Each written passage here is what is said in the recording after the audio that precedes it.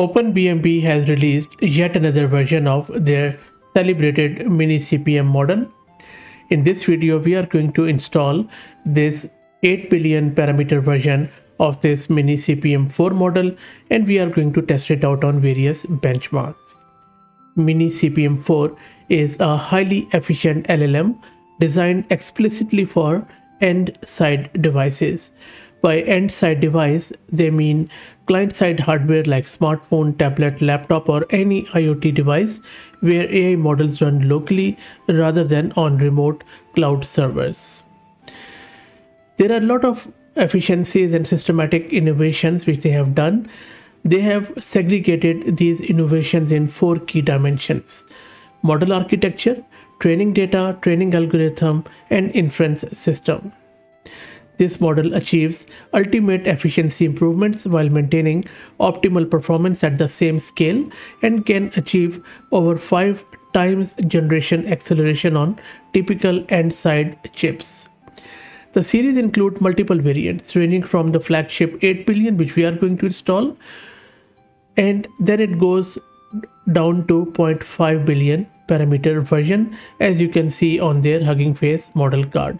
And there are a lot of other variants too and I will be doing multiple videos on other variants because some of them look pretty interesting. Anyway but I just want to focus on this 8 billion parameter model for this video.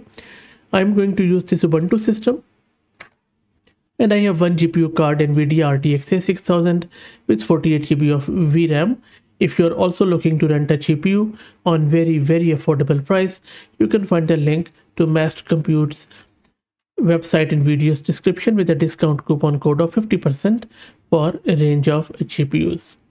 So at the start, I'm just going to go with the creation of this Conda environment.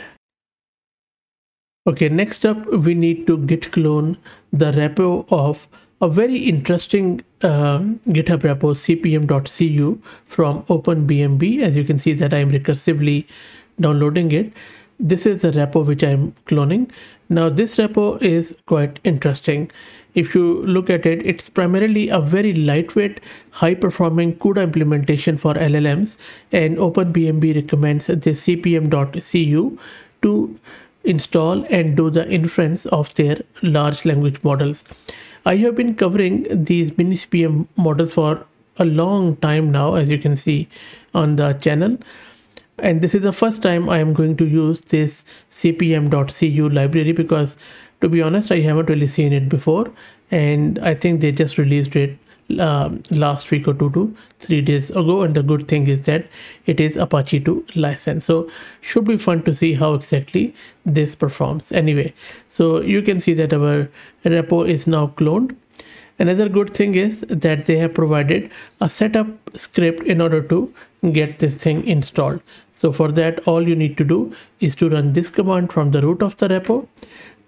This is going to take bit of a time and while that happens, let me introduce you to the sponsors of the video who are Camel AI. Camel is an open source community focused on building multi-agent infrastructures for finding the scaling laws with applications in data generation, task automation, and world simulation. And this setup is taking long time. So meanwhile that happens, let's talk a bit more about this 8 billion model and its architecture.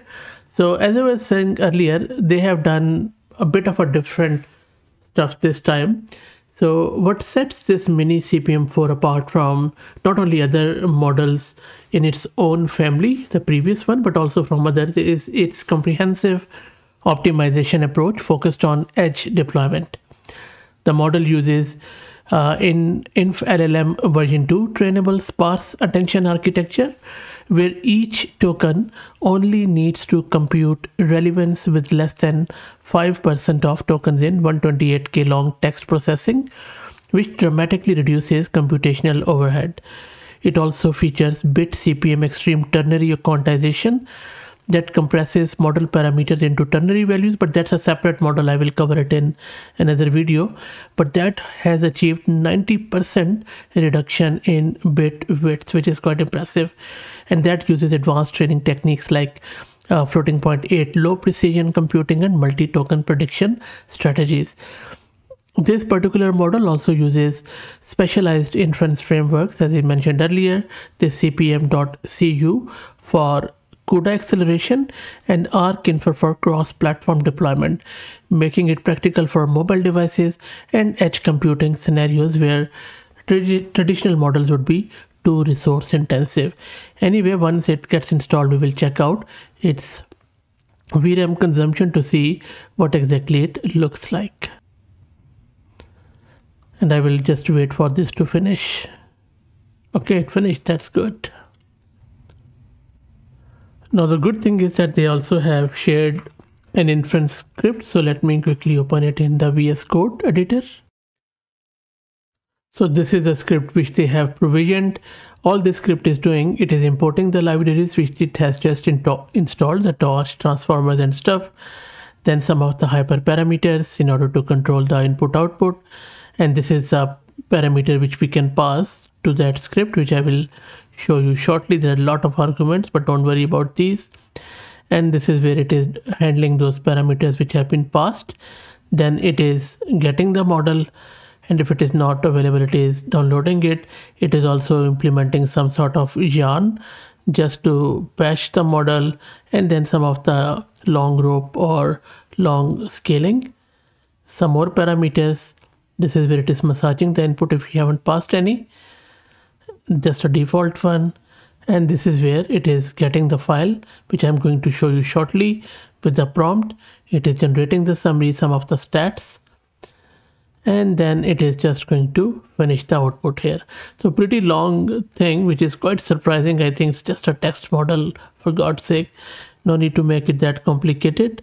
But anyway this is for edge. So maybe I think this is a lot of optimization which they are trying to do. Um, in my humble opinion, this could be simplified. Things have come a long way. Anyway, so this is the prompt I'm asking it that write a detailed explanation of photosynthesis, how photosynthesis works, then create a short poem, finally solve the math problem, and then what is average speed, that sort of thing. So I have just put it in one prompt.txt file, and that is what I'm going to run let's go back and from here I'm just going to clear the screen and I'm going to run this script. So what this script is going to do, it is going to download the model if it is not present already, and then it is going to use that prompt file. So let's run it.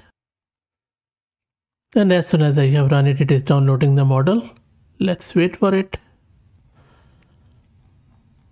There you go. So it is downloading that model. Seems pretty interesting. Let's wait and it was fairly quick and not only it has loaded the model as you can see it has given us a tensor count and then if you look here it has generated the text where it has told us how photosynthesis work. And that's it. It didn't give me i think it did the answer but it just curtailed here because that is what uh, max output token was. But that is fine. I think it was fairly quick. Anyway and this is the 8 billion model. Let me try out another one. I'm just going to give another prompt and we will see how it goes. We will also check vram consumption okay so i'm just going to give it this math problem where i'm asking it that a baker makes 144 cookies and puts them in boxes of 12 if he sells seven boxes how many cookies are left? Let's go back. I will also run this. And as it loads the model i'm just going to run this to check the vram consumption. Oh wow. So 40 over 44 gig of VRAM for end device for 8 billion model. I think that's too high. They should work on this uh, reducing this especially for 8 billion. I don't expect it to go over 24 gig of VRAM at max. Okay so anyway but let's look at the response and answer just to check if what model has done here. So the correct answer is 60, which I think it has done well. Okay, so the answer is correct. Okay, let's check out a logical reasoning one.